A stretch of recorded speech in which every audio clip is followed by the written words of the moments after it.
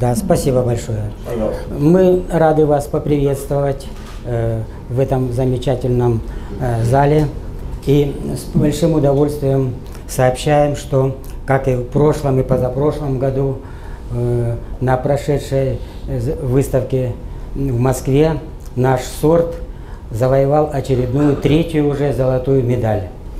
Это говорит о его востребованности, его ценности, а культура, э, которая профилируется в этом предприятии, имеет высокую перспективу.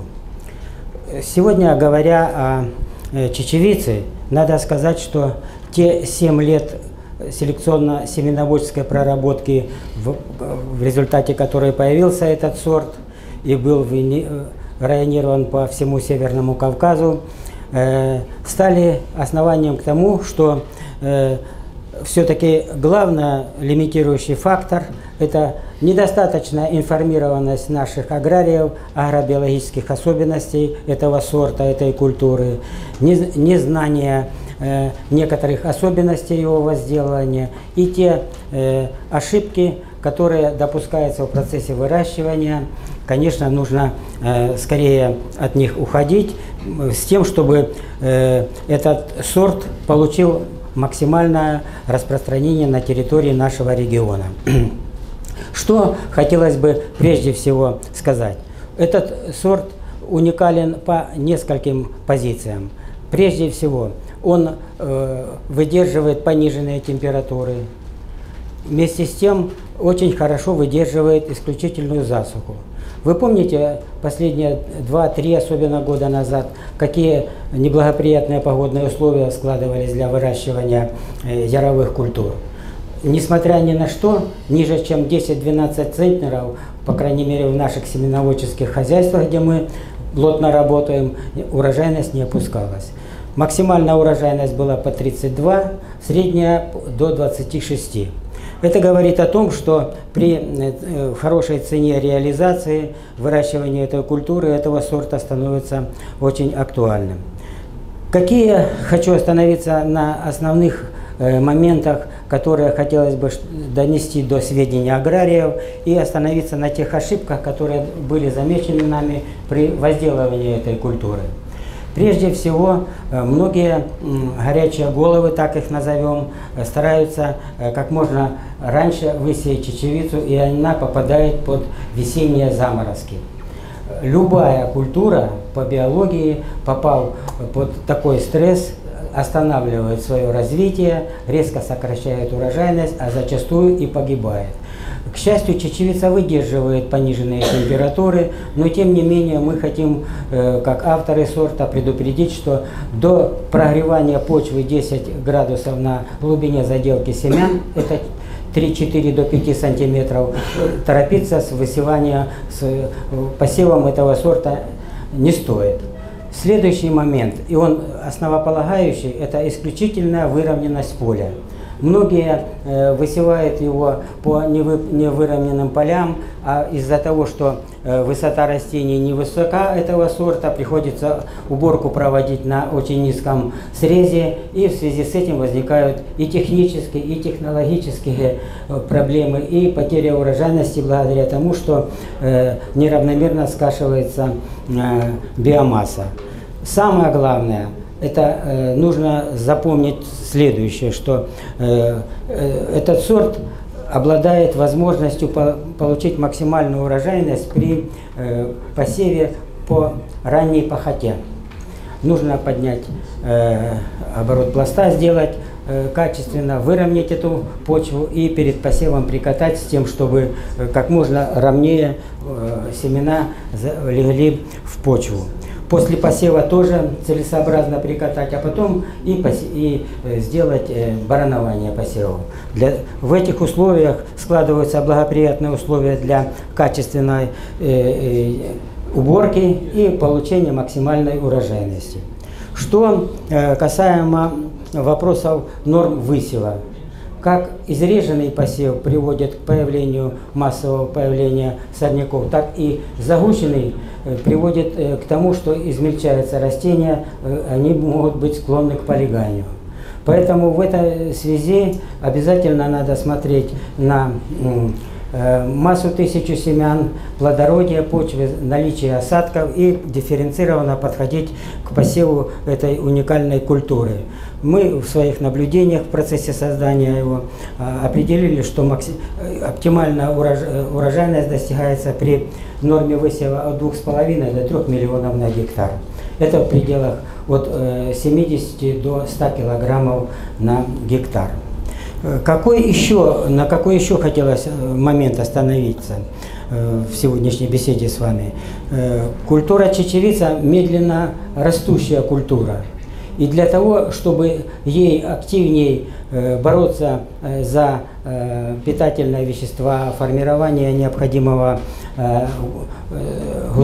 необходимой густоты, э, очень желательным элементом является предпосевное стимулирование семян. Э, многие препараты были нами изучены, и вот э, хотел бы остановиться на одном из препаратов, который называется Экобао.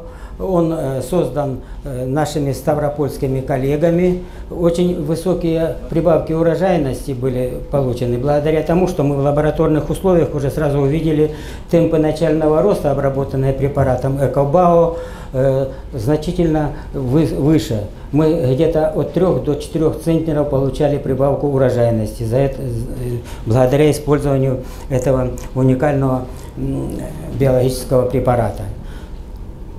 Из э, следующих элементов возделывания хотелось бы обратить внимание на э, э, решение вопросов э, по уборке урожайности. Зачастую э, метеорологические условия складываются таким образом, что не все бобики, которые э, подходят к уборке, находятся в одной фазе. Поэтому зачастую э, э, специалисты, у которых большие площади, используют раздельный способ уборки. Э, убирая прежде всего на свал, а потом через 3-4 дня обмолачивая эти волки. А мы наблюдали и особенно в семеноводческих хозяйствах смотрели по этому вопросу, э, применяли э, диссеканты для того, чтобы семена все от нижних до верхних бобиков в процессе диссекации доходили до влажности необходимой и очень хорошо убирались при мягком режиме обмолота комбайна. Особо хочу сказать о регулировках на комбайне. Дело в том, что это очень нежные э, семена, и при жестком режиме обмолота комбайна зачастую происходит большое дробление. Это очень плохо, когда мы производим семена, ну и в принципе даже уборку урожая, поскольку происходят большие потери. Поэтому э, Учитывая эту ситуацию, нужно обязательно внимательно следить на э, зазоры э, при деке и барабана комбайна, на его обороты и особенно на количество э, поступающего ветра при сепарации. Выдерживая мягкие режимы, получаются очень хорошие семена, Получается высокоурожайность э, технологическая и как можно э, минимальное количество потерь, поскольку это тоже не совсем благоприятный момент в данной ситуации. В общем, надо сказать, что подводя итог сегодняшней беседе о этом сорте, э, надо сказать несколько таких вопросов поднять о том, что мы все-таки мало занимаемся изучением этой культуры, плохо знаем ее э, особенности, самое главное ценные пищевые достоинства. У нас в Зернограде сформирован уникальный э, комплекс не только науки, но и производства. Вы в большинстве случаев знаете, что здесь есть уникальнейший завод, который не только способен очистить, высушить, отсортировать, но и переработать, переработать этот прекрасный сорт, продукцию которого востребована во всем мире, но только почему-то не в Ростовской области, не в Зерноградском районе. И вот замглавы э, делился мнением о том, что у нас всего 50 гектаров. Это, естественно, очень малое количество. Честно сказать, не, просто непонятно, почему мы, э, зерноградцы, э, находясь на этой замечательной земле, не используем уникальные возможности этого сорта, экономические возможности которого не раскрыты до сих пор. Я напоминаю, что, наверное, в нашем государстве не зря получают золотые медали те сорта и технологии, которые э, являются очень перспективными. Хотелось бы обратить, чтобы все обратили на это внимание, а нашему предприятию пожелать успехов в реализации семян, которые заготовлены в этом году. Не только элиты, но есть семена и суперэлиты. И урожай этого сорта еще больше порадовал э, сельхозтоваропроизводителей, а э, владельца этих семян очередной золотой медалью на выставке достижений народного хозяйства. Спасибо. Спасибо, Николай Григорьевич. Э, друзья, наверняка есть вопросы к селекционеру Бурскому. Да, Николай Ильич, вопрос такой. Насколько зависит эффективность технологии от применения химии и есть ли у вас рекомендации вот, э, на производство органической продукции?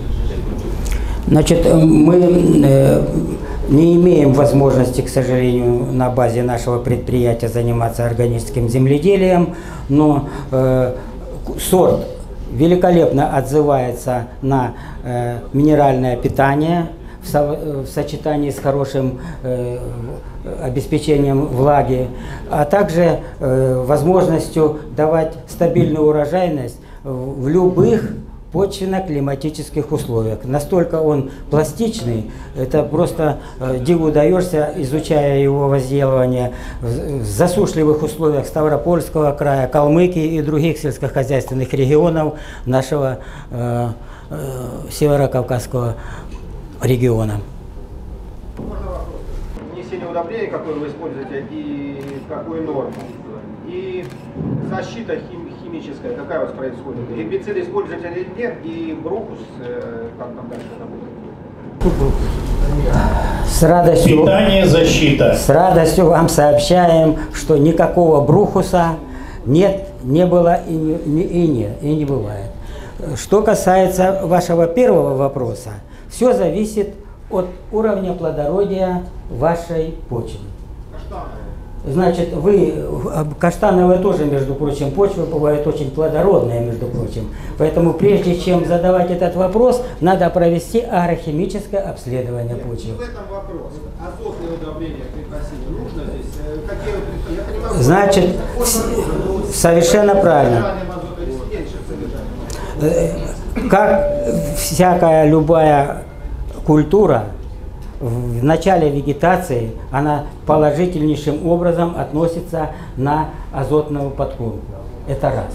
Во-вторых, э, учитывая, что есть клубеньковые бактерии, которые очень хорошо помогают, не надо увлекаться большими дозами внесения их, но стартовая N30, P40, калий 30 будет э, то, э, основополагающее условие для выращивания этого сорта в великолепных условиях. А по защите?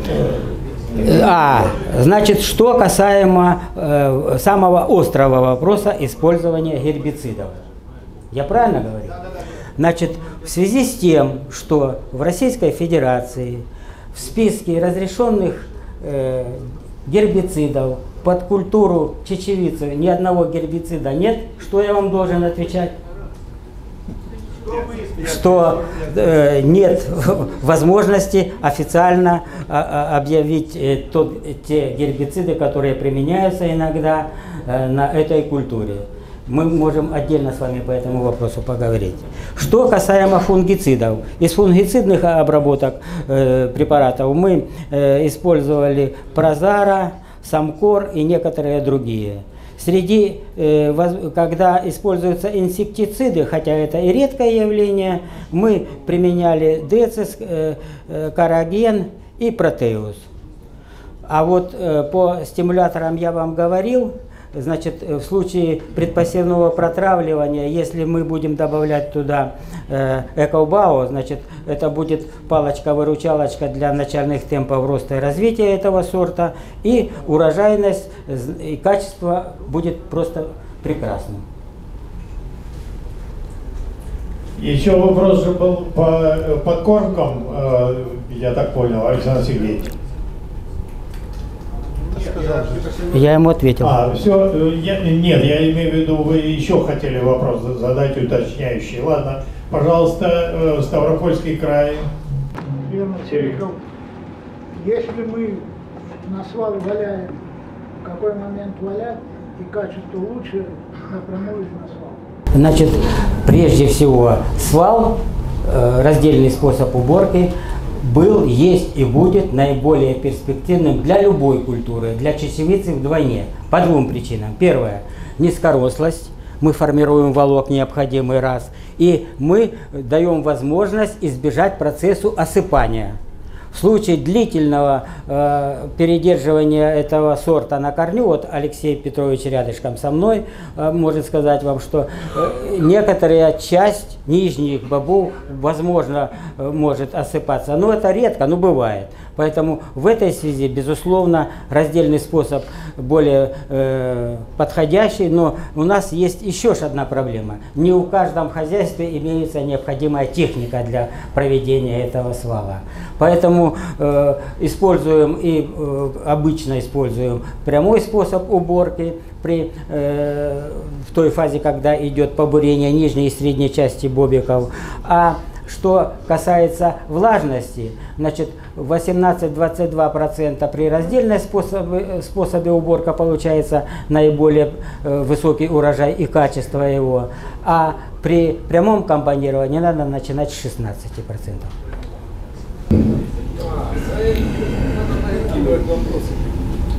Ну, во-первых, с прошедшими всем праздниками.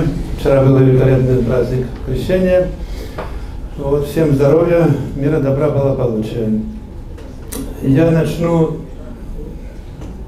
свое выступление с ответа, который задал Старопольский товарищ.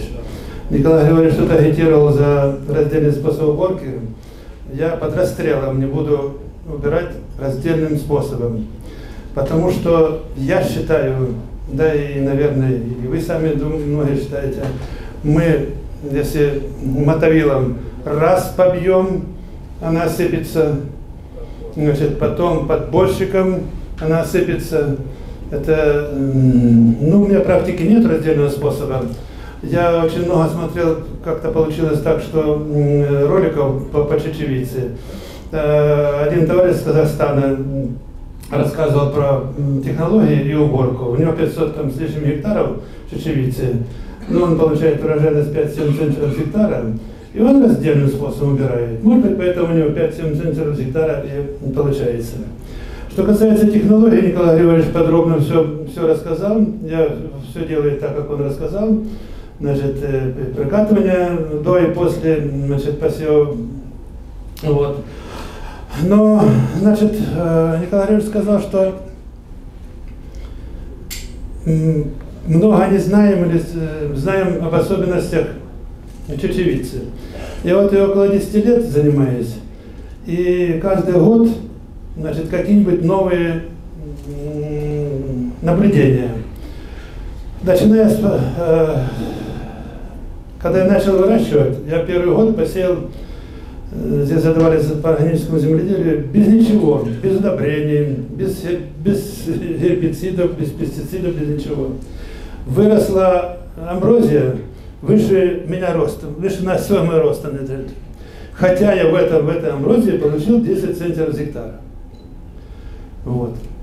Затем, значит, набирался опыта, нашелся э, гербицид, который Николай Григорьевич не зарегистрированный. Гербицид называется серп. Я успешно все годы его применял, никаких вопросов не было по сорнякам. В прошлом году Значит, серпа в связи с событиями не стало, и мне предложили мои поставщики Ранголи Прадо. Я обработал, значит, ни одного сорняка не было э, на поле, кроме марь белая или лебеда по-нашему. Значит, ни, ни, один, ни одно растение не взяло, не взяло этим гербицидом. И слава богу, что я убрал вместе с этим самым, да, пришлось диссекацию делать, и диссекант не взял марь белую. Вот хотите верьте, хотите нет. То ли, хотя э, диссекант был э, самое, сплошняк, сплошного действия. И он не взял почему-то, не знаю, может быть, э, какой-то подсунули мне и так далее. Вот. В этом году уже я нашел серп опять, серп уже у меня оплачен, и все привезут серпом. Значит, об особенностях. Значит, позапрошлом году э, в, нашей, в нашей зоне Самарской, вот Азовского района, э, а везде осадки идут, а у нас осадков нет. Пять лет мы испытываем жесточайшую засуху. Вот. И, значит, э, после того, как я задисковал под, под, под посев зимой пшеницы, чечевицу, на семена я выращиваю, на, на огород и на, на чечевице, значит, э, прошел дождь, и она взошла, падалица взошла. Потом падалица взошла серьезная, ну, где-то вот э, сантиметров 15 было. Заделка семяна не повлияла. Э, ну и в моем понятии, значит, получается двойной э, э эффект э, от того азота, который выделяет азотфиксирующие батареи на, э, бактерии на чечевице. Это в моем понятии. Следующая, значит, особенность. Два года подряд, вот Николаем Григорьевичем я вызывал его, не цветет и все, не цветет и все. То ли это было от погодных условий, то ли мороз, может быть, продавил и так далее. Вот. И в этом году, то есть в прошлом году, значит, э, вот этот мороз первый был 6-8 градусов, он не убил верхние листочки чуть-чуть примерзли и все. То есть э, это говорит о засухе, то есть о морозоустойчивой культуре. Значит, после уборки в прошлом году с массой э, семян лебеды, э, значит, у меня появился, появилась возможность, ангарь дополнительно построил небольшой, и я очистил на СМ4 и передал значит, маяк, мы с маяком тесно работаем. Вот.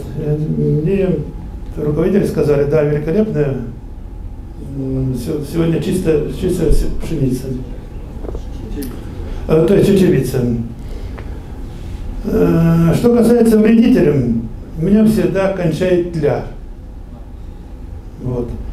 Э, с ней я пытался бороться различными инсектицидами, пока не добрался до, до нанодима. И даже данадим полностью не убивает тлю. Но вы знаете, не знаю, так это или нет, на самом деле, в моем понятии, тля не наносит никакого ущерба чечевице. Я не видел, один раз я проморгал в этом самом сачке, было вот так, чуть ли не, не, не на, на, на 10 сантиметров в, конце, на дне сачка. Ничего абсолютно, никакого, никакого э, вреда, будем говорить, не было.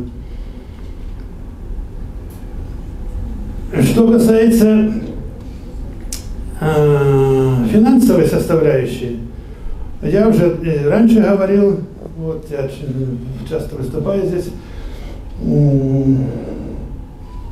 я считал позапрошлом году, Значит, даже при урожайности 10 центнеров с гектара, она не хуже экономика, чем при 50 центнеров пшеницы. Вот. А если бы цены были нормальные, как первый год, Любовь Дмитриевна мне заплатила за эти 10 центнеров по 40 тысяч за тонну, вот, вообще можно было увеличить посевы чечевицы. Меня сдерживает посева, у меня все в обороте 7 культур, вот, меня сдерживает отсутствие площадей для хранения. С элеватором я на элеваторе храню у себя на, на Самарском вот, большие объемы. А маленькие объемы, вот еще раз, я говорю, еще один ангар построил, теперь уже можно будет чуть-чуть даже расшириться. Э, что касается подкормку, подкормку или сева с удобрениями, я всегда сею с азофоской, вот. больше никаких я удобрений ничего не делаю. Применял и кабау, кабау до этой пандемии. Значит, э, явная 2-3 центнера, здесь прибавка э, к урожаю. Ну вот, наверное, и все, что я хотел сказать. Да, ну, наверное, или не наверное, в этом году уже будет у нас весь этот, или как его назвать, потом был только по кукурузе, у меня кукуруза есть, Вот. Э, Теперь на все культуры будет есть. Не знаю, как, как я буду управляться с этими культурами. Ну, уже потихоньку как-то входим в это никому не нужное, будем говорить, дело. Я заявляю это со всей ответственностью, потому что мы отчитываемся в статистику, никуда мы ее не деваем, никуда она не денется, не в наших интересах его куда-то девать, наш урожай. И просили уже все сельхозпроизводители, отмените вы этот движ, как и пошлины, точно такая же картина, как и, как и с пошлинами. Ну, никто нас не слышит, и, наверное, не, не услышит, будем работать так, как нам велит наша родная власть. У меня все. Спасибо за внимание. Друзья, вот, пожалуйста, э, вопрос. есть. Вы в своей практике клей не применяете?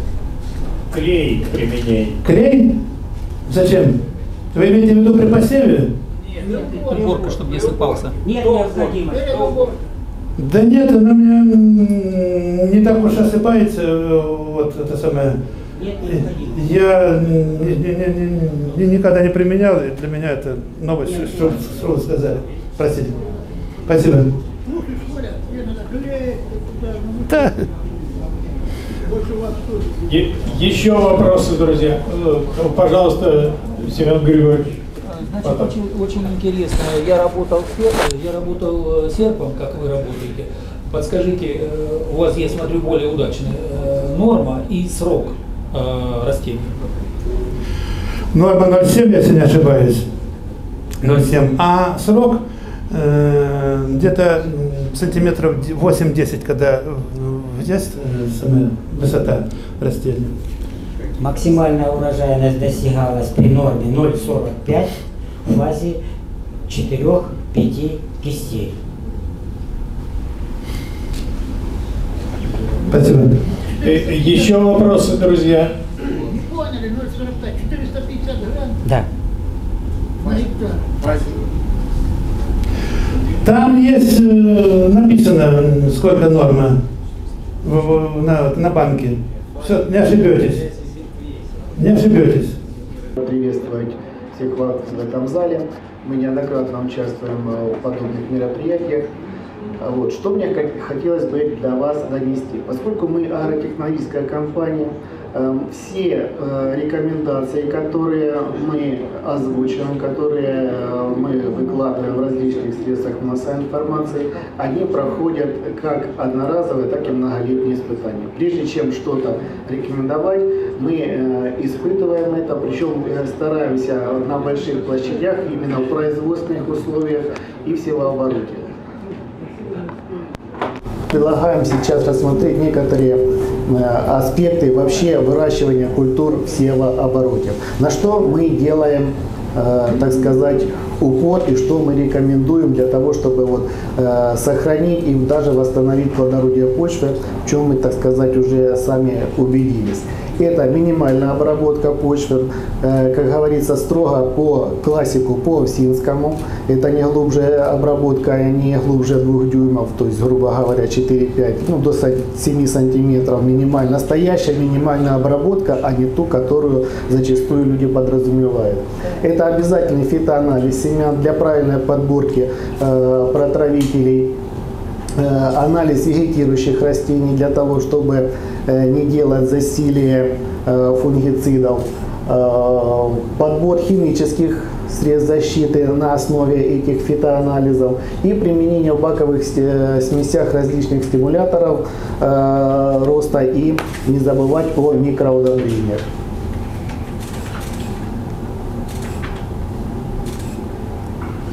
Ну, я не буду подробно останавливаться вообще, как происходит э, почвообразование.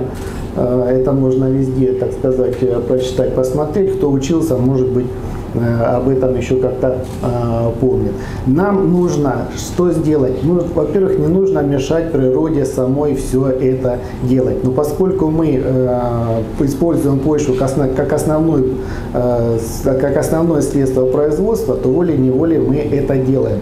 Но э, если мы э, не можем помочь чем-то почве, то нужно хотя бы ей не мешать все это про- производить. Итак, что мы рекомендуем? Э, Первое – это э, категорически отказаться от выжигания э, стерни и пожневных остатков в любом ее виде. Несмотря на запреты, несмотря на предупреждения, ну, чем мы греха таим, дымим после уборки вовсю. Вот. С одной стороны, но это, так сказать, э, вопросы законодательства. А что с точки зрения агронома? С одной стороны, вроде бы почневные остатки уничтожили, все, все красиво, можно проводить, люб- мо- можно проводить любую обработку, ничего мешать не будет. Но э, питание для живой фазы почвы уничтожено, ей питаться нечем, э, нарушаются различные почвенные процессы. И к тому же нами досконально, мы неоднократно проводили опыты. Э, После выжигания есть мнение, что уничтожаются болезни и так далее. Значит, через 2-3 недели э, фитопатогенный фон э, почвы э, и внутри почвы на пожных остатках, ну, имеется в виду корневой системы, не то что восстанавливается, оно еще выше, чем э, в тех вариантах, где выжигание не проводилось.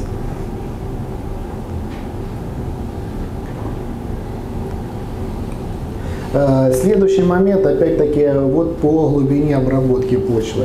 Э, Мы не призываем, так сказать, э, к нулевым технологиям, традиционным или еще каким-то, но в наших опытах получается, не на многолетних опытах, получается именно так, что минимальная обработка почвы уходит на первое место. Э, Вроде бы, да, глубоко заделали сорняки, пожневные остатки, другие, другое что-то. Вроде бы выглядит красиво, но есть и большие минусы.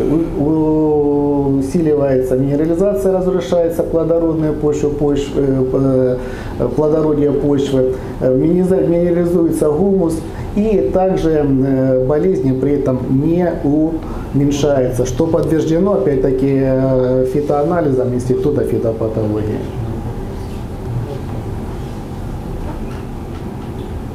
Но все-таки, как бы, как бы мы ни старались, но э, с пожневными остатками нужно что-то делать.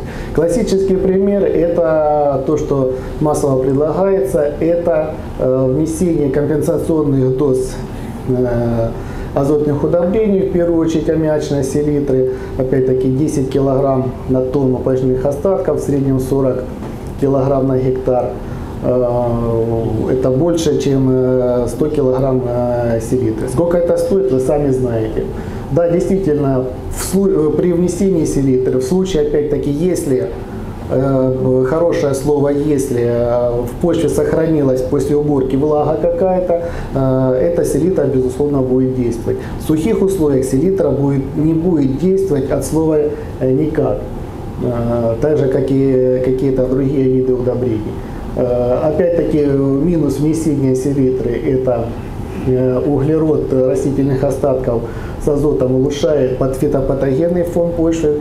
Это мы все прекрасно знаем, особенно в теплое время э, года. Азотные удобрения любые будут усиливать грибные, особенно заболевания, их накопление. А это и усиле- увеличение затрат на применение фунгицидов. Э, Кроме того, при внесении азотных удобрений на стерню э, мобилизуются э, запасы естественного азота, которые безвозвратно теряются из-за процесса денитрификации.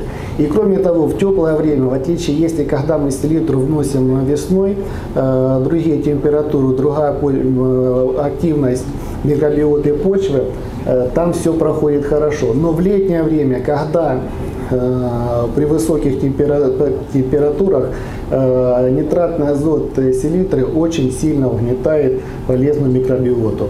Кроме того, э, ну я уже о стоимости селитры э, вам сказал. Э, Что можно предложить э, взамен, поскольку все равно с пожневными остатками нужно работать. Э, Есть э, санирующие, деструктирующие э, препараты. В частности, мы испытываем препараты на основе консорциума Инбиофит, э, при которых компенсационный азот не требуется. Э, В состав, основ, э, он многокомпонентный препарат, но основные для, э, компоненты для этого это азотобактеры, целлюлитические бактерии. Э, э, Одни фиксируют атмосферный азот, другие способствуют усиленному разложению пожных остатков и, и декструкции. Э, Да, желательно проводить как можно быстрее после уборки. Кроме того, санирующий эффект достигается за счет того, что вытесняется болезнь, вернее, неправильно, не вытесняется, Инбиофит способствует э, тому, чтобы пожирные остатки не так сильно накапливали в себя фитопатогенное начало, что опять-таки э, доказано институтом фитопатологии. А, расти- а целлюлозолитики разуплотняют пожирные остатки и уже почвообработка происходит э, гораздо быстрее. Из минусов можно да, э, отметить организационные моменты, потому что послеуборочное э, время, скажем так, сложно найти э, людей, технику для проведения этой работы. Но, собственно говоря, для внесения той же селитры требуются практически такие же организационные затраты. Но цена этого мероприятия в 2-3 раза дешевле. Вот результаты э, многолетнего опыта в течение 8 лет э, по минимальной, настоящей минимальной обработке почвы и работы с поживными остатками. Э, За 8 лет непрерывной работе в силообороте по такой технологии э, гумус увеличился э, на 1,3%, на 1,3%. А это очень хороший показатель, если честно, мы сами не ожидали такого. Ну, это описание биофита. Это он состоит из 7 родов до 30 штаммов. Но не просто смесь, а смесь подобранная на принципах метабиоза. Это один из разновидностей симбиоза, когда одни бактерии поддерживают другие, одни питаются э, метаболитами других и устойчиво э, существуют. И как итог в одном баковой смеси прекрасно уживаются и азотобактеры, и бацилюсы, псевдомоносы, э, лактобактеры и так далее. Кроме того, пр- препарат прошел государственную регистрацию, э, разрешен к применению на территории Российской Федерации и СНГ. Э, Он официально разрешен. Что, кстати, э, очень важно, потому как очень много подобных препаратов э, регистрации даже не знают. Вот. Кроме того, институтом фитопатологии доказано именно санирующее, э, санирующий эффект этого препарата. И вообще инбиофит это серия препаратов, которые э, различного назначения. Это инокулянты для бобовых культур, бе- это, это ино- биостимуляция, это э, помощь э, для борьбы с различными заболеваниями. Э, Это разложение пожирных остатков и обрашу- прошу обратить внимание, это биоинсектицид серии инсекта. Э, В плане борьбы э, с вредителями мы уже отработали его, можем смело рекомендовать, особенно против э, листогрызущих вредителей. Вот экономическая эффективность препаратов серии Энфит. Чисто биофит без всяких окупаемость вы сами видите. Сохранение урожая то же самое. Цена, затрат, все здесь показано. Э, Имбиофиты, то есть это санация растительных остатков, обработка семян и обработка э, по вегетации совместно с правильно подобранными фунгицидами. Мы ни в коем случае не призываем отказываться от фунгицидных обработок, но фунгициды должны быть правильно подобранными. Михаил Александрович, минутка. А, Ну, к, сож- к сожалению, маловато времени мы взяли или, или вы нам дали. Э, Что касается, коротко, что касается микроэлементов. Микроэлементы мы относим не к дополнению к основным элементам, мы считаем их основ, также основными элементами, которые не стоит пренебрегать. Как говорит один э, крупный успевающий фермер Егорлыцкого района, э, борщ надо варить с петрушкой. Чем больше, чем, тем лучше. Борщ без петрушки – это не борщ. Вот так же с микроэлементами. Нужно относиться к элемент- микроэлементам. Э, Ну, это процессы, которые, которым, они, они спос, э, которым они способствуют. Э, что касается именно бобовых культур, конечно, здесь именно нужен э, бор молибден в первую очередь, мы считаем, и это подтверждено многими опытами. Бор молибденовые микроудобрения нужно ложить не только на работать тут не только по вегетации, но и прежде всего при, добавлять при протравливании семян в обязательном порядке. Э, в чем и на еще, так сказать, э, недопонимание может быть э, ребят по микроэлементам. Бывает и среднее количество микроудобрений, повышенное, но к сожалению, почвенная активность микроэлементов, она очень маленькая. И у нас на наших э, щелочных почвах, где pH 7 и выше, а бывает даже там и у некоторых и 8, и 8,5, э, эффективность этих, этих элементов питания крайне низкая. И вносить их в почву ну, просто бесполезно. Поэтому мы рекомендуем вносить в подкормки на лист. И маленькими дозами, но несколько раз. Сократите, допустим, рекомендованные э, дозы многих микроудобрений там, от 1 до 3 литров, ну пусть полтора литра в среднем за вегетацию, не надо вносить их одноразово, вносите их, разделите их там на 3, 4, 5 раз и вносите маленькими дозами. Михаил Александрович, время. Послед, последняя ремарка. Э, чуть больше, чем через месяц в Ростове будет э, большая сельскохозяйственная выставка. В рамках этой выставки у нас будет большой семинар 2 числа. 2 э, февраля 10 часов зал Бета. Там все эти аспекты будут рассмотрены. 2 марта. Да, извините, 2 марта. Э, в 10 часов зал Бета. Пожалуйста, приходите, все эти вопросы будут, и не только эти, э, будут конкретно рассмотрены. Спасибо большое. Спасибо. Вопросы есть, э, Михаил Александрович?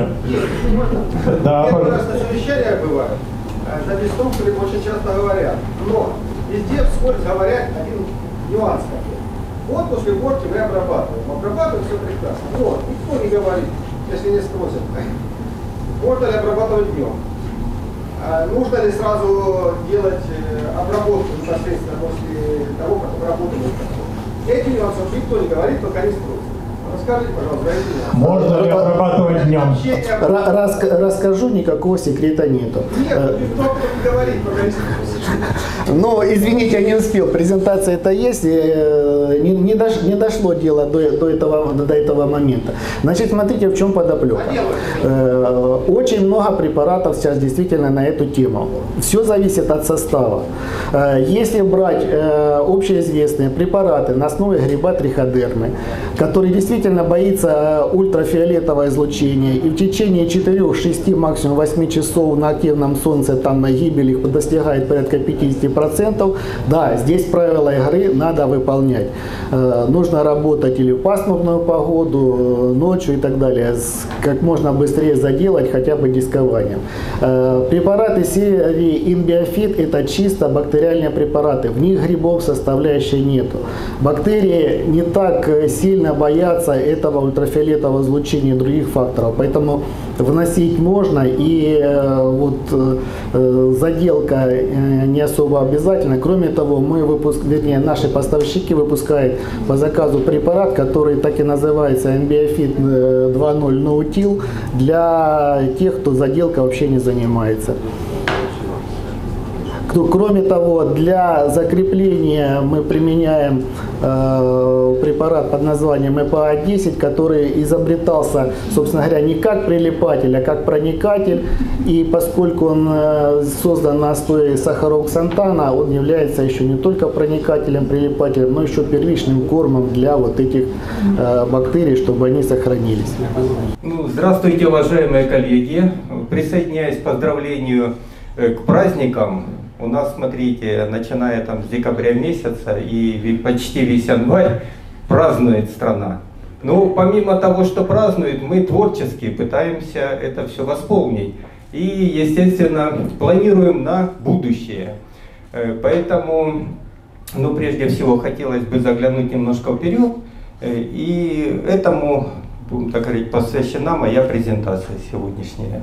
Пока он будет заниматься презентацией, обратите внимание, перед ним хлебушки, 30% нутовой муки и наш первый сорт просто. Вот представляете, в этом нуте, о котором будут говорить, какая силища, уж не говоря о пользе. И красиво, и вкусно, и качественно. Ну и так, хотелось бы поговорить об основных элементах ресурсосберегающей технологии возделывания нута. Ну, прежде всего, хотелось бы отметить, что и чечевица, и нут, и даже соя – это те культуры, которые, я думаю, в ближайшем будущем должны занять порядка 20% площадей, ну, скажем, всех посевных площадей всего оборота.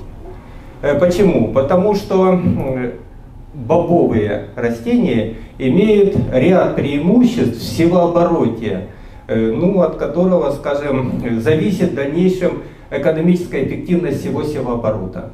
Ну, в частности, мы знаем, что зернобобовые культуры прежде всего обладают мощной стержневой корневой системой, и поэтому э, выполняют такую функцию, как рыхление почвы отчасти, перераспределяет элементы питания из нижних слоев почвы в верхние, и таким образом становятся эти элементы доступны для последующих э, культур.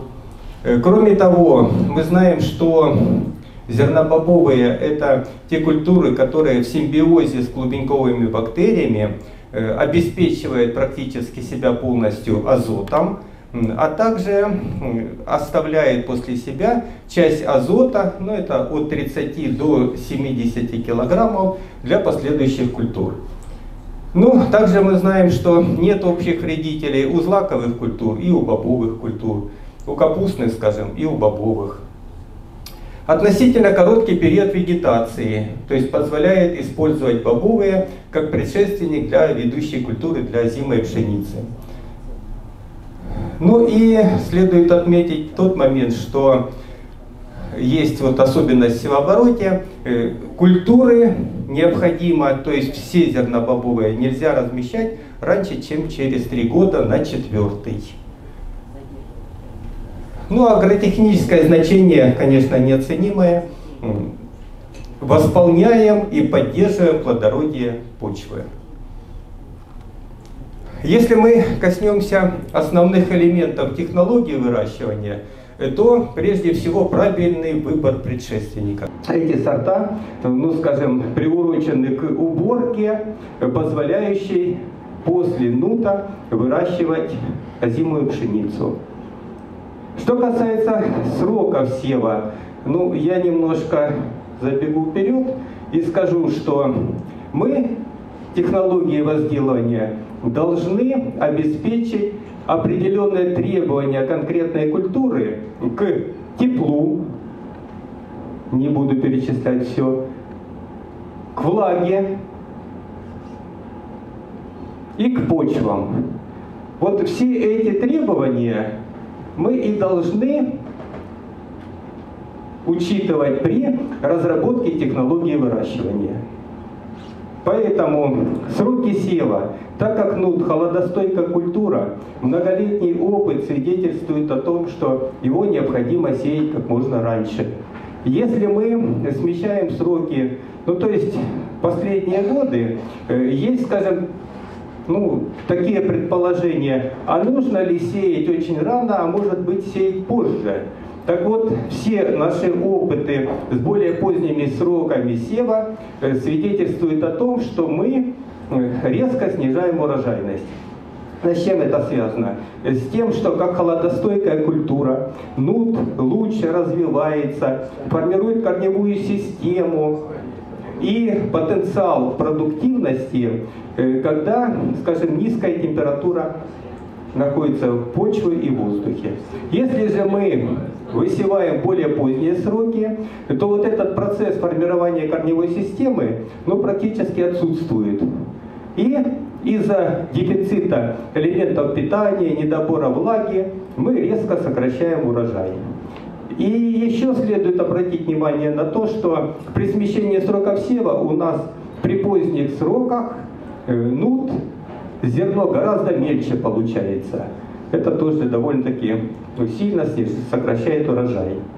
Что касается густоты стояния растений, ну давайте посмотрим с вами на вот такие кадры. Итак, при широкорядном способе сева, обратите внимание, у нас э, у нута формируется ну, более 250 зерен на одном растении. Ну, то есть, если мы берем изрезанный посев, либо чрезрядный посев, значит, мы можем получить максимум продуктивности. Ну вот широкорядный посев так выглядит э, по технологии наутил. Значит, при рядовом способе сева, обратите внимание, у нас формирование э, бобов происходит, как правило, в верхних э, частях растения. И, естественно, по количеству зерен с квадратного метра или с гектара у нас почему-то преобладает не рядовой посев, а широкорядный. Ну и если мы с вами продолжим по элементам технологии выращивания, борьба с сорно-полевой растительностью. Но прежде всего хотелось бы отметить, что нут можно выращивать и по классике и по прямому посеву. Так вот, как правило, при прямом посеве возникают э, проблемы борьбы с сорно-полевой растительностью. Э, скажем так, что используя Мерлин Флекс, эти проблемы мы отчасти решаем. Значит, мы считаем, что малоэффективны Э, вот те препараты, которые по вегетирующим растениям, если у вас поле не засорено злаковыми культурами. То есть против злаковых бороться очень легко, но если у вас яровые, поздние широколистые сорняки, бороться вы практически не сможете. То есть в настоящее время действительно средств защиты не существует. От вредителей болезней. Ну, сразу скажу, что э, многие сельхозтоваропроизводители не обращают внимания на таких вредителей, как нутовый минер или огневка. А все знают, что у нута есть вредитель хлопковая совка. Так вот, если мы не будем бороться с нутовым минером, мы порядка 3-3,5 центнеров нута в зерне потеряем.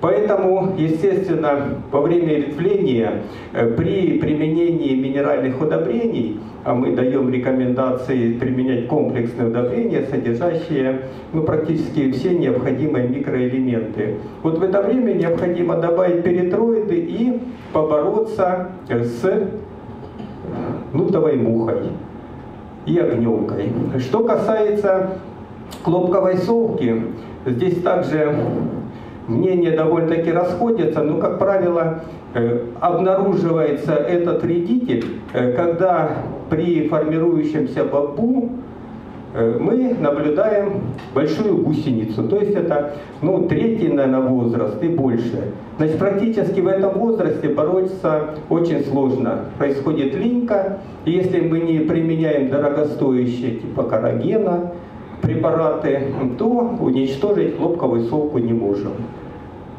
Значит, что касается способов уборки. Э, последнее время э, у нас есть интересные разработки, э, которые говорят о том, что не следует ждать полностью высыхания растения, а использовать химические средства защиты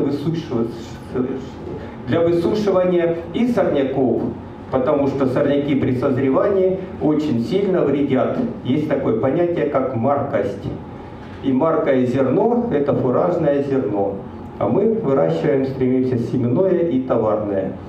Поэтому не нужно ждать созревания последнего э, баба, а нужно проводить диссекацию в то время, когда мы знаем, что осадки будут отсутствовать. В это время вы получите э, чистое зерно высокого качества. как семенной, так и товарной продукции.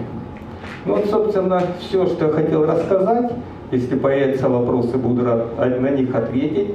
Но еще вот такой, такая маленькая ремарка. Значит, информация о наших работах научно-исследовательских понутов по совершенствованию технологии выращивания может быть размещено на сайте Агромаэстро. Поэтому, кто интересуется, пожалуйста, смотрите, задавайте вопросы. А это вот мой телефон. Благодарю за внимание.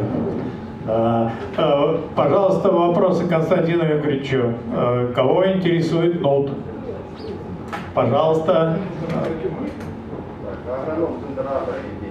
По вашему мнению, какой способ лучше сева, рядовой или широкорядный? И ширина междурядья? Значит, мы от рядового сева практически отказались, ну так. А на наш взгляд, самый оптимальный это, ну, в зависимости от того, что позволяет сеялка, от 30 там, до 39 сантиметров. Это вот широкорядный, причем на квадратном метре, ну, к уборке должно формироваться порядка от 22 до 28 растений. Это на квадратном метре. Это, на наш взгляд, самый высокопродуктивный нут будет. Друзья, еще вопросы Константину Игоревичу? Он про нут знает все.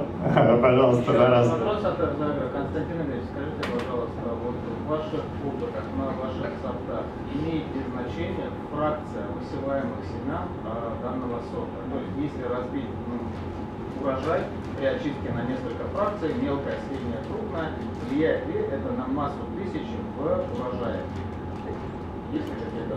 Спасибо, вопрос очень интересный. Скажу следующее. Ну, прежде всего, крупность нута, да, влияет вначале на энергию роста и развития этой культуры. А в дальнейшем на формирование урожая будет зависеть то еще, как мы его накормим.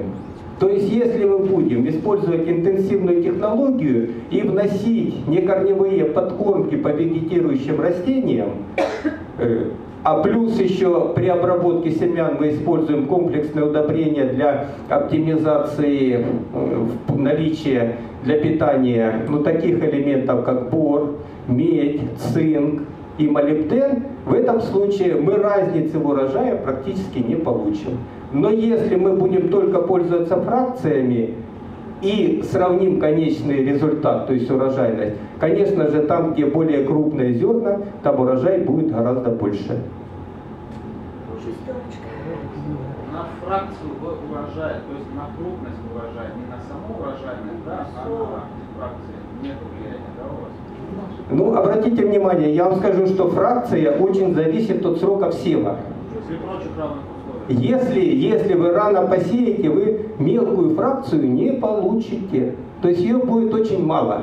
Если же вы посеете там в конце апреля, в начале мая, в этом случае вы чаще всего попадаете под засуху, растение, корневая система не до конца сформируется, и вы получите щуплое или мелкое зерно. Вот от этого больше зависит фракция, я вам так скажу. Видимо, Вопрос был другой, да, э, э, Тарас? Э, что-то другое хотели спросить. Вы не поняли друг друга, да? Да. Что-то неудовлетворенный. Ну, я думаю, что еще пообщаемся. А, да, но Константин Игоревич здесь остается и допоздна отвечает на вопросы потом. Пожалуйста. Я насчет глубинков по чуть-чуть, можете? Можем. Да, я могу сказать том числе и по чечевице, по клубенькам, не, не проблема. Дело в том, что у всех бобовых ну, принцип действия ризоторфина один и тот же. Так вот сразу скажу, что в отличие от нута, на полях, в том числе и Ставропольского края, присутствуют клубеньковые бактерии чечевичные. Вот мы делали исследования, брали в Питере 524 штамм и 512. И у нас практически что с использованием ризотофина, что без использования, то есть аборигенные клубеньковые бактерии использовались, у нас урожайность практически была одинаковой. А по нуту эффект около тонны. То есть вот такая разница. Очень, очень сильно сказываются метеорологические условия, особенно в первый период вегетации. Зачастую вот в условиях Ростовской области, когда жара превалирует, не просто заспа, а жара, никаких клубеньковых бактерий, к сожалению, мы не наблюдаем. Если только благоприятные условия складываются, великолепно работают, культуре достаточно той, э, того начала, который присутствует в почве, и она справляется великолепно сама. Чем больше условия складываются благоприятнее, тем условия эти складываются лучше. Такую маленькую ремарочку добавить хочу. Обратите внимание, что клубеньковые бактерии формируются на корневой системе. Если корневая система хорошо сформирована, развилась, то клубеньковые бактерии на чечевице образуются, даже если вы резотортин не будете использовать. Если же вы посеете, скажем, э, ну, немножко задержите со сроками сева, а я считаю, что чечевица это культура тоже раннего срока сева. И если вы сместите сроки сева, то корневая система не развивается, а из-за этого не развивается и биологический азот. То есть не формируются клубеньковые бактерии, которые э, позволяют фиксировать азот из почвенного воздуха. И таким образом, даже если вы резоторфин примените, но не будет корневая система развита, э, вы клубеньковые бактерии не получите. И будете за счет минерального азота э, получать урожай. Я не за. А за что? Происхода немножко выросла глубинки, потом наступает они... Ну, я вам так скажу, немножко это где-то должно быть 3-4 недели, как минимум. Да, вот так. Да чтобы сформировалась корневая система. У всех бобовых культур корневая система сначала развивается, а потом надземная масса. Так вот, около месяца нужно, чтобы развилась корневая система. И если она развивается при оптимальной влажности и довольно-таки низких температурах, это что приветствуется бобовыми, э, то мы получим симбиотическую азотфиксацию. Если же мы по-теплому сеем, будем так говорить в народе, э, то мы практически азот-фиксацию не получаем.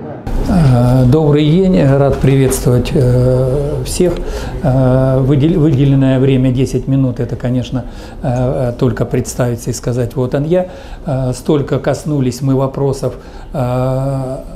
хозяйственной деятельности. Давайте мы, я там минут 5-7 говорю, а потом конкретно на что додавливать будем чуть позже. Э, ну, во-первых, э, э, мы сейчас говорим о бобовых. Если мы разбираем, любая культура выращивается в хозяйстве, хозяйство слаживает в оборот. У меня в хозяйстве бобовые 15-20%.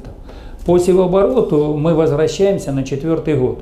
Если смотреть внимательно на механизмы, то вы видите здесь какое-то нарушение. То есть это означает, что э, земли имеют камень, промойный и прочее. То есть сложность э, вклинить в севооборот по технологическим качествам. То есть это получается сдерживающий фактор. Я работал по чечевице э, с Николаем Григорьевичем, мне это понравилась культура, но дело в том, что у нас, э, у меня конкретно земли находятся на второй половине от э, лучших земель района. То есть, соответственно, у меня тяжело э, найти земли, чтобы они были более ровные. То есть это сложность. Ну, механизаторы даже при уборке э, ну-то э, жалуются, то камень поймали, барабан побили. То есть есть сложности, которые срез нужно делать как можно ниже. Так вот, вернемся к нуту в севообороте. Мы работаем после озимых, и самый лучший предшественник это нут для озимых. То есть получается озимая, нут озимая. А, мы наработали в нашем севообороте, у нас еще кукуруза, и мы высеваем а, нут после кукурузы. То есть получили тот же результат, получаем тот же результат, а, как и после озимой. То есть, ну, получается у нас очень хорошо подсолнечник, кукуруза, нут, озимая. То есть мы как бы вот этот э, цикл на одном поле, на котором очень удачно получается нут, мы идем в этом направлении. Э, теперь, если мы смотрим э, по э, хорошим вопросам, которому все ждут, уговорите нас выращивать нут, мы создали три сорта нута. Это белый, черный, коричневый. На сегодняшний день самый востребованный это белый нут, крупноплодный. Э, Но сложность начинается в том, что эксклюзивность нута э, все спрашивают в первую очередь 6 То есть это как бы вот э, по той цене, что он э, экономически доступен в цене. То есть это немножко проще его выращивать э, и э, массовость его э, приобретения. А, То есть э, цена на сегодняшний минут, я думаю, всех интересна, а, почему-то никто не озвучил, а, это 35-50. Ну, то есть вот эта вилка от э, гарантированно 35 предлагаю, где-то мы мечтаем, что у нас взяли за 50. То есть э, я имею в виду вот в этой ситуации. Теперь вопрос стоит такой. Сельское хозяйство в целом, если мы будем смотреть свое место в сельском хозяйстве, то существует конкуренция в рынке, в аграрном рынке, и нас подпирают наши соседи. Ну, это все естественные процессы. Для того, чтобы выжить, нужно поднять уровень своей хозяйственной деятельности. И вот сейчас, э, я, это не секрет, что все идут по этому пути. То есть один из вариантов, э, необходимо нам уже уйти в нишевые культуры. То есть на сегодняшний год мы говорим о рентабельности. Э, Нут в этом году у меня дал рекордный урожай, ну то есть от э, 12-15, это нижний предел, до 25. 25 я до этого не получал ни разу такого урожая.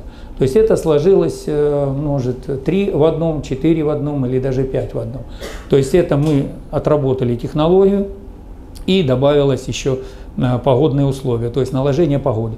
То есть э, на одном и том же, на один и тот же сорт в один и тот же срок посева, один дает 15, а другой 25. Мы понимаем, что это больше сработало погодно в, в- расстоянии 15 километров, то есть поля находились. Э, В экономической составляющей э, нут э, интересная культура, но э, сложная. Если мы говорим, мы пришли работать на землю, мы не пришли искать легкие пути для работы. То, то есть вот здесь э, стоимость затрат э, вложенная, мы работаем по нулевой технологии и удачно научились бороться с сорняком. Мы э, отсекаем широколистые сорняки, э, в Нуте с Константином Игоревичем, он времени хватило ему раскрыть, у него очень много наработок и есть слайды. Э, Я думаю, кто-то к нему обратится, у него лучше это презентации есть подготовлены. То есть э, мы, допустим, э, вот сказано марь белая, щерица, дурнишник, э, так же, как и в чечевице, так же, как в нуте, можно найти способ, как их отсекать. То есть э, у нас вопрос такой, срок посева мы сеем как можно раньше, а рано не получается сеять, нулевая технология отстает на неделю от классики, э, почва прогревается чуть позже. Это как бы э, с одной стороны недостаток, а с другой преимущество. Мы влагу проносим на вот эту неделю э, дальше в сторону лета. А Потом э, срок посева нута, вот э, начнем арифметически, э, с 15 апреля мы начинаем сеять и заканчиваем, ну, грубо говоря, 25 мая.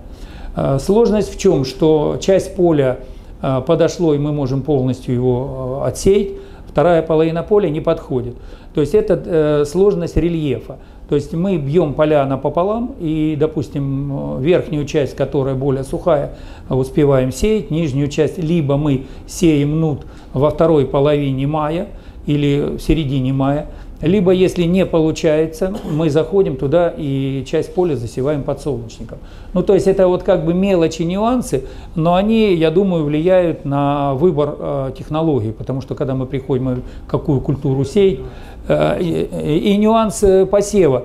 Э, Мы работали по классике, потом перешли на ноль, э, на классический, ну то есть э, ноль у нас, э, ну как бы хотелось выдержать все, работали дисковым сошняком. Э, И э, самая большую сложность с дисковым сошняком мы увидели при посеве нута. То есть чем э, выше фракция нута, то есть э, он не ложится на дно борозды, то есть после дисковой, после дискового сошняка. Практики это понимают. Э, Мы ушли от дискового сошняка к анкерному сошняку. Э, Если вот э, ко мне приехал Константин Игоревич и приходит, говорит, Семен Григорьевич, ты нут не получишь. Я говорю, почему? У тебя, говорит, на поверхности он лежит. То есть это было такое. Это мой грех, и это моя проблема, которую я переживал. Как ее мы не смогли найти способ, мы хотели на 10-12 сантиметров дисковый сошник загнать, а ранней весной земля клеклая не заходит. Как только мы зашли на анкерный сошник, у 99% ни одного семени нет. Схожесть получаем очень хорошую.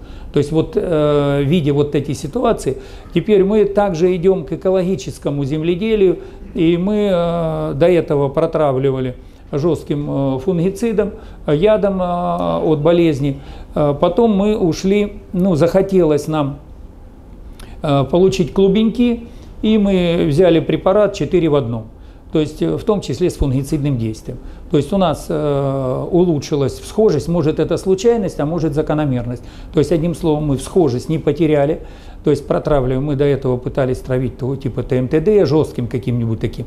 Теперь мы это убрали. Теперь у нас стоит вопрос инсектицидная обработка и фунгицидная по вегетации. Есть э, способы, но есть, э, это очень большой такой раздел, я его не хочу касаться. Наработки есть, но практического опыта пока еще у нас этого нет. Практики могут кто-то дополнить э, этот вопрос. Вопрос э, себестоимости. Себестоимость нута э, приличная. Э, теперь мы, э, когда разговариваем о себестоимости, вопрос Константину Игоревичу э, был очень хороший. Я попытаюсь ответить, но не полностью. Потому что, чтобы рассчитать полную себестоимость, Э, нужно смотреть э, его все в обороте. Ну вот, к примеру, э, мы закладывали опыт, и Константин Игоревич это в курсе, мы использовали посев нута с предшествующим внесением удобрения под озимую культуру. То есть закладывали три нормы удобрений и нулевое удобрение под озимую. То есть без удобрений нут дал урожайность, глядя на пшеницу. То есть там, где заложили удобрение и в пшеницу, и в нут, э, урожайность по нуту одинаковая. Там, где в предшественнике э, слабая норма была удобрений в пшенице, то есть э, нут просел на 3 центера. Теперь мы смотрим эффективность килограмма удобрений возимой пшеницы и в нуте. При стоимости даже в 35 рублей, не будем заходить, и в пшенице, у меня пшеницу забрали по 10 рублей – в этом году, ну то есть 2 рубля вывоз, я имею в виду логистику, вы понимаете, 10, 10 с половиной, я получил 9 рублей. То есть бобовые на данный момент при грамотном подходе и э, в поиске э, решения вопросов – это и чечевица, о которой мы говорили, нут, и другие культуры. Их необходимо вводить. И только разумный человек, который скажет, ну я хочу этим заняться, завтра я это буду выращивать. И я надеюсь, в нашем зале люди есть, которые придут и включат в оборот 10, э, так же как и я, 15% бобовых э, в этом вопросе. То есть поэтому себестоимость Э, это индивидуально каждый может рассмотреть. И даже вопрос стоит такой, вот если мы смотрим по себестоимости, ну в детали я попытаюсь немножко опуститься, мы берем, вот у меня на пяти полях находится нут посеян. 500 э, гектар, ну, условно там от 80 до 150 гектар. И в зависимости от предшественника я смотрю, сколько заложить удобрений и сколько у меня финансов на этого есть. Потом смотрим, какая э, вид развития сорняка. То есть сорняк начинает идти, мы работаем по злаковым, отрабатываем э, для того, чтобы закрыть. На каких-то полях поля чистые, мы говорим, ну глянь, как все хорошо, давай почвенник не делать. И вот есть полный пакет, джентльменский, как мы назовем, его можно посчитать. А потом реальность сколько получается, это получается у каждого свое. Поэтому э, вопрос такой, он выше, однозначно выше, чем у других культур. Мы можем сказать, что самые дорогие семена это у нас семена кукурузы, если импортные смотреть. Потом семена идут подсолнечника, и, конечно, у нас нут э, очень дорогой по семенам. Э, сдерживающий фактор э, высев нута – это большая норма, которую рекомендуют семеноводы. То есть теперь вопрос, есть нижний предел семян, ну это называется для, слишком, э, кто хочет придержать. То есть вот здесь можно высевать э, широкорядным через 30 сантиметров э, и 50 тысяч и получить э, урожай. Но для этого нужно пропашную сеялку, э, культиватор, э, окучники, ну, как, так же, как вот э, технологии выращивания пропашных культур. Если мы высеваем там, полмиллиона и больше, если мы посчитаем стоимость хотя бы 100, кило, 100 рублей на килограмм, то продажа семян будет неэффективна только выращивание для собственного хозяйства. Поэтому вот здесь, когда мы будем смотреть, как сложить себестоимость, высевая семена собственного э, высевая с нормой и все остальное, поэтому мы получим. То есть если кому-то кто-то интересно, тот подходит и говорит, я бы хотел разработать свою матрицу. То есть я считаю, что семена, заниматься ну, там это интересно, мы от этого получаем удовольствие. По поводу клубеньков. Клубеньки в этом году настолько были хорошие, ну, по всей вероятности, что дожди, вот о чем только что говорили, прошли дожди, и клубеньки были настолько сытые, вот прямо выдергиваешь, и гроздями висели. премия. Спасибо. Закорачиваю фразу. Выбор Э, выбор инокулянта мы сделали, э, привезли нам образцы, мы заложили два э, вида образцов, и один образец, тот, который более красивый дал, мы заложили в прошлом году. Спасибо. Друзья, есть вопросы к Семену Григорьевичу по ноту? Да, пожалуйста. А как вы вносите удобрения по нулевой? Удобрения по нулевой технологии. Есений. Сеялка ДМС, два отсека, удобрения пробовали на НПК э, и амофос. Практически одинаковые прибавка урожая. То есть в рядок. Сеялка. Сеялка в рядок. Да, э, другая сеялка у нас сеялка э, ящик – в ящике крупный нут не проскакивает, то есть получается э, снижается норма посева. То есть э, катушки он зависает и не высевается. Мы не могли понять, а потом дошло, что он крупный и не просыпается. До дополнительной ворушилки сеялка не работает. А вот пневмосеялка работает хорошо. На бурго тонко, тонкий шланг и в делителе он не проходит. То есть крупный, ну, с крутым нутом это особенность. Надо иметь особенность техническую. Еще вопрос, пожалуйста. Сколько раз инсектицидами работали? Инсектицид. Инсектицид. Один раз. Э, срок э, э, внесения, начало цветения. Да, пожалуйста, Тарас Карлович.